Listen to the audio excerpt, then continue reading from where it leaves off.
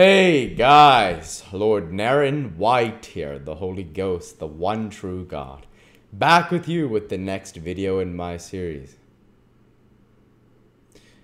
Uh, reading Oliver Twist by Charles Dickens. Without further ado, returning to Oliver Twist as read by Lord Naren White. Mrs. Mann shook her head. He's an ill conditioned, vicious, bad disposed, parochial child, said Mr. Bumble angrily. Where is he? I'll bring him to you in one minute, sir, replied Mrs. Mann. Here, you, Dick! After some calling, Dick was discovered, having had his face put under the pump and dried upon Mrs. Mann's gown. He was led into the awful presence of Mr. Bumble, the beadle. The child was pale and thin. His cheeks were sunken, and his eyes large and bright. The scanty parish dress, the livery of misery, hung loosely on his feeble body, and his young limbs had wasted away like those of an old man. Such was the little being who stood trembling beneath Mr. Bumble's glance, not daring to lift his eyes from the floor, and dreading even to hear the beadle's voice. Can't you look at the gentleman, you obstinate boy? said Mrs. Mann. The child meekly raised his eyes and encountered those of Mr. Bumble. What's the matter with you, parochial Dick? inquired Mr. Bumble with well timed jocularity. Nothing, sir, replied the child faintly. I should think not, said Mrs. Mann, who had, of course, laughed very much at Mr. Bumble's humor.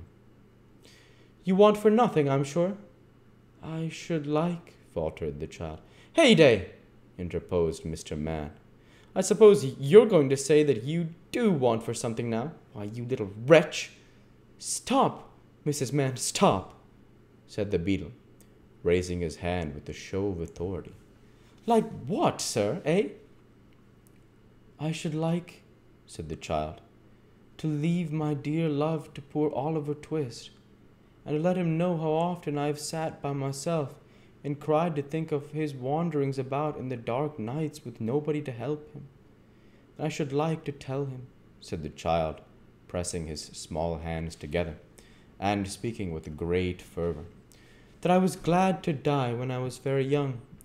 For perhaps if I had lived to be a man, and had grown old, my little sister, who is in heaven, might forget me or be unlike me, and would be so much happier if we were, were both children there together.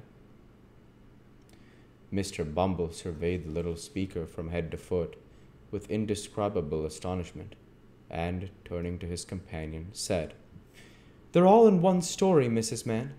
That audacious Oliver had demoralized them all. I couldn't have believed it, sir, said Mrs. Mann, holding up her hands, and looking malignantly at Dick. I never see such a hardened little wretch. Take him away, ma'am, said Mr. Bumble imperiously. This must be stated to the board, Mrs. Mann.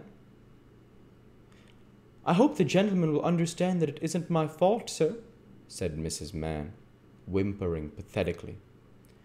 They shall understand that, ma'am. They shall be acquainted with the true state of the case, said Mr. Bumble. There, take him away. I can't bear the sight on him. Dick was immediately taken away and locked up in the coal cellar. Mr. Bumble shortly afterwards took himself off to prepare for his journey. At six o'clock next morning, Mr. Bumble, having exchanged his cocked hat for a round one, and encased in his person in a blue great coat with a cape to it, took his place on the outside of the coach, accompanied by the criminals whose settlement was disputed with whom in due time, of course, he arrived in London. He experienced no other crosses on the way than those which originated in the perverse behavior of the two paupers, who persisted in shivering and complaining of the cold in a manner which, Mr. Bumble declared, caused his teeth to chatter in his head and made him feel quite uncomfortable. although he had a great coat on. Having disposed of these evil minded persons for the night, Mr. Bumble sat himself down in the house at which the coach stopped and took a temperate dinner of steaks, oyster sauce, and porter. Putting a glass of hot gin and water on the chimney piece, he drew his, his chair to the fire, with sundry moral reflections on the too prevalent sin of discontent and complaining, composed himself to read the paper. The very paragraph upon Mr. Bumble's eye rested was the following advertisement Five guineas reward. Where's a young boy named Oliver Twist absconded or was enticed on Thursday evening last from his home at Pentonville, and has not since been heard of. The above reward will be paid to any person who will give such information as will lead to the discovery of the said Oliver Twist, or tend to throw any light upon his previous history, in which the advertiser is, for many reasons, warmly interested. And then, following a then followed a full description of Oliver's dress, person, appearance, and disappearance, with the name and address of Mr. Brownlow at full length. Mr. Bumble opened his eyes, read the advertisement slowly and carefully, three several times, and in something more than five minutes was on his way to Pentonville. Having actually, in his excitement, left the glass of hot gin and water untasted. Is Mr. Brownlow at home? inquired Mr. Bumble of the girl who opened the door. To this inquiry, the girl returned the not uncommon, but rather evasive reply of, I don't know. Where do you come from? Mr. Bumble no soon uttered Oliver's name in explanation of his errand. Then Mr. Mrs. Bedwin, who had been listening at the parlor door, hastened into the passage in a breathless state. Come in, come in, said the old lady. I knew we should hear of him. Poor dear, I knew we should. I was certain of it. Bless his heart, I said so all along. Having heard this, the worthy old lady hurried back into the parlor again, and seating herself on a sofa, burst into tears. The girl, who was not quite so susceptible, had run herself had run upstairs meanwhile, and now returned with a request that Mr. Bumble would follow her immediately, which he did. He was shown in, into the last back little into the little back study, where sat Mr. Brownlow and his friend Mr. Grimwig, with decanters and glasses before them. The latter gentleman at once burst into the exclamation. A beadle! A parish beadle! Well, I'll eat my head. Pray don't just don't interrupt just now, said Mr. Brownlow. Take a seat, will you? Mr. Bumble sat himself down quite confounded by the oddity of Mr. Grimwig's manner. Mr. Brownlow moved the lamp so as to obtain an uninterrupted view of the beadle's countenance, and said with a little impatience, Now, sir, you come in consequence of having seen the advertisement. Yes, sir, said Mr. Bumble. And you are a beadle, are you not? inquired Mr. Grimwig. I am a parochial beadle, gentlemen, rejoined Mr. Bumble proudly. Of course, observed Mr. Grimwig aside to his friend. I knew he was, a beadle all over.